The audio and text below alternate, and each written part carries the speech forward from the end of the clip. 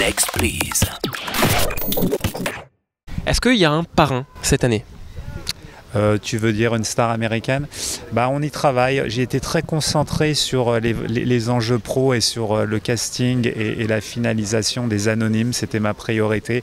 Mais on a une- un long tournage, donc euh, je suis en train de discuter avec pas mal de managers et d'agents pour voir qui on pourrait faire venir. En tous les cas, il y a des noms qui ont été lancés.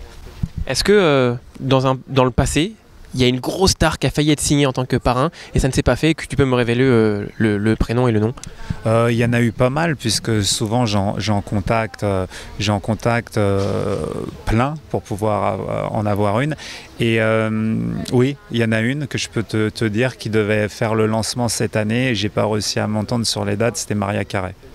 Carrément Et pourquoi ça s'est pas fait? Ça s'est pas fait parce qu'elle a eu des petits soucis perso euh, à travers ses, euh, ses spectacles et tout et qu'elle a préféré euh, se, se mettre en retrait. Mais j'étais en discussion avec euh, UTA, ses, ses managers américains, et il y avait une envie de Maria Carré de venir dans les anges.